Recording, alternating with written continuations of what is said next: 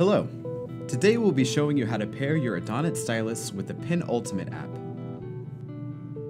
First, open the settings and make sure Bluetooth is turned on. Next, open the general settings and make sure multitasking gestures is turned off.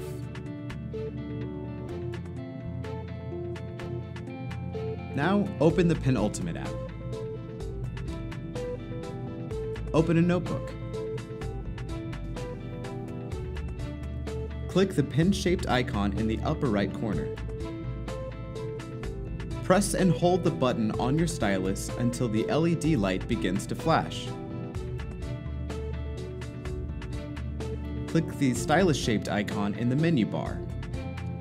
Press and hold the stylus tip to the circle until you receive pairing confirmation.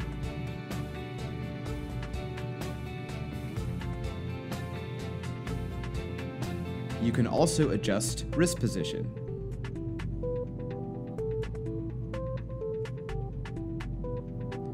You should now be able to use your stylus and its features inside the app. For additional setup assistance or any other questions or concerns, please email our support team at help at adonit.net. Thanks so much for watching, and we hope you have a great time using your stylus.